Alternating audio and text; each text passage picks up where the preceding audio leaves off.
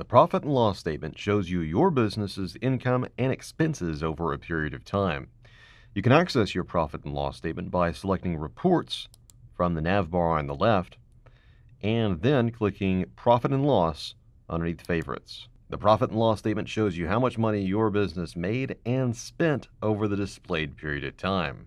At the top of the profit and loss statement, you see your business's income displayed right here, divided up into different income accounts so you can see your general revenue streams. Right here, you also see your cost of goods sold.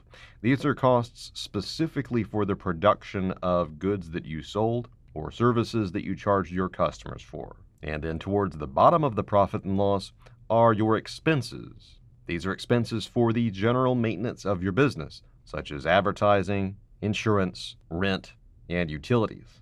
The profit and loss statement allows you to see your total income minus your cost of goods sold, and then also minus your expenses to display your net income. This is your profit over the selected period of time. Let's take a look at the balance sheet by going to Reports and then Balance Sheet. Now, let's scroll down to the bottom of the balance sheet to the Equity section. Here we can see the exact same number that was displayed on the profit and loss statement before. So the end result of the profit and loss statement is also displayed on the balance sheet. And the net income, or profit of a business, is used to calculate the growth in what the business is worth to the owner because it's in the equity section of the balance sheet. Use the profit and loss statement to measure the basic profitability of your business.